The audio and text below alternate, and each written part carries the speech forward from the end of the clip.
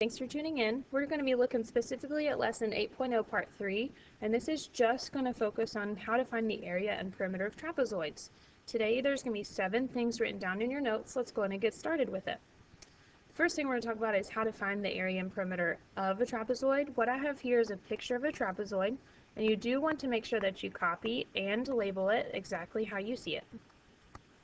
Um, the perimeter of a trapezoid is the same as always. You're just going to be adding outer sides. For area of a trapezoid, though, it's a little bit different.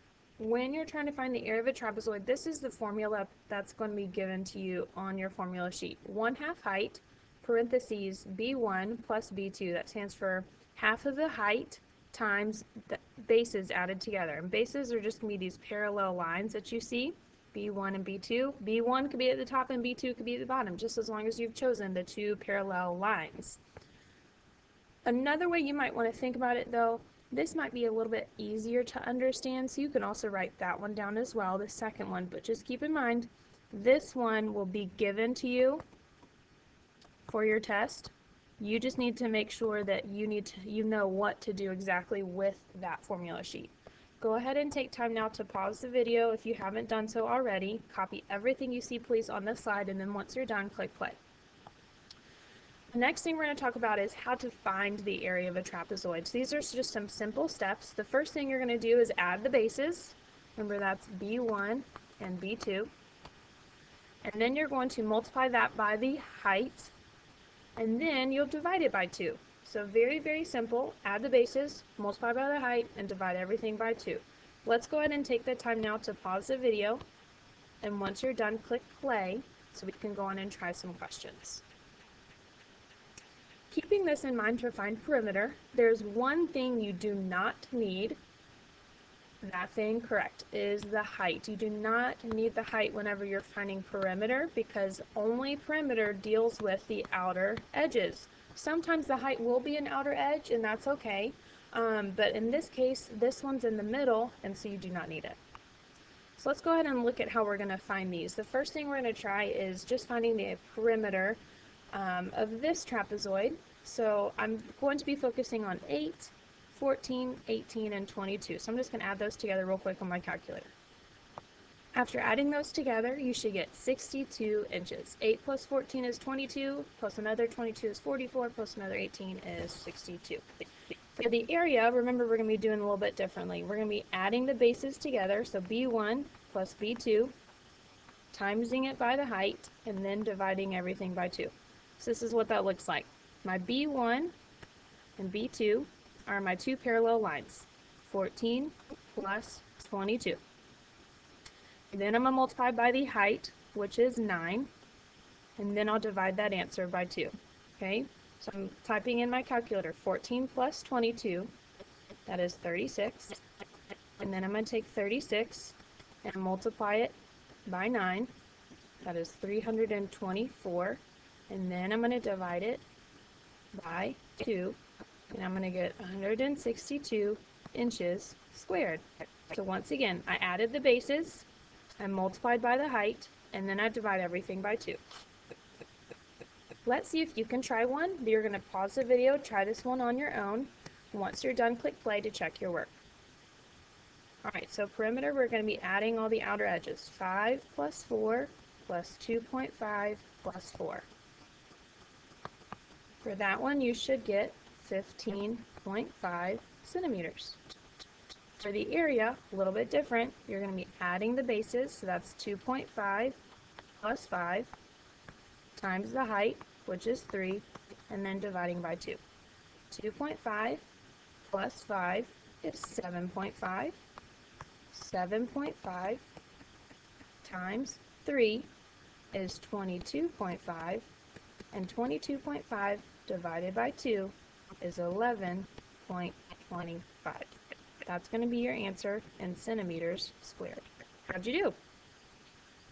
Again, here's another one you're going to try. Take the time now to pause it. Once you're done, click play to check your work. So we have our perimeter, 16 plus 9 plus 12 plus 19. Notice I'm ignoring the number in the middle. 16 plus 9. That's going to give us a, a perimeter of 56 yards. For area, I'm going to add my bases. 19 plus 9 times it by my height, which is 8, and then divide it by 2. 19 plus 9 is 28. And then I'm going to take 28 times 8, just showing all my work here.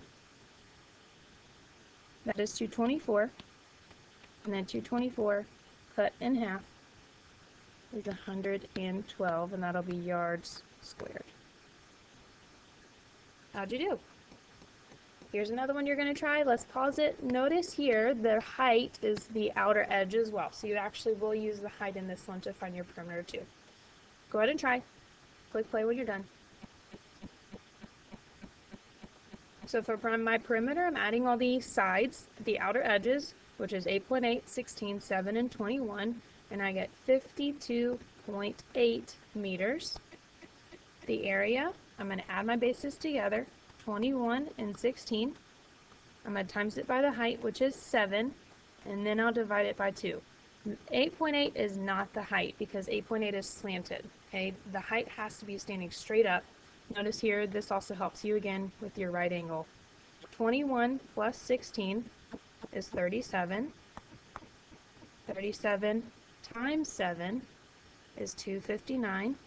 And then 259 divided by 2 is 129.5 meters squared. Okay, here's another one you're going to try. Let's just keep trying these to make sure we're good at them. Pause it. Once you're done, click play. I went ahead and set up both of my problems. 8 plus 9 plus 8 plus 15 will give us our perimeter, and that is going to give us 40 centimeters. For my area, I'm adding my height, or bases, 15 plus 9. That's going to give me 24. And then I'm going to multiply it by 7, because 7 is my height. So 24 times 7 was 168. And then 168, dividing all that by 2, to give me 84 centimeters squared. Okay, here's one of your last ones. Go ahead and take time now to pause it. You might need to maybe rotate your tablet or your phone just to make sure you're using the correct numbers. Once you're done, click play. So here I've, go. I've already set up everything I needed. For perimeter, I'm doing 9 plus 8 plus 12 plus 10, and you should get 39 millimeters. Make sure that you set up correctly or solve correctly your area. 12 and 9 are B1 and B2. Those are the two parallel lines. 12 plus 9 is going to give me 21. And I'm going to take that and multiply by 8. 8 is my height because it's also connected to my right angle measurement. 21 times 8 is 168. And then I'm going to take that number and divide it by 2. And I get 84 millimeters squared. How did you do? That's going to conclude our video, so just make sure you have your seven things written down in your notes. Thanks so much for tuning in, and we'll catch you next time. Next time.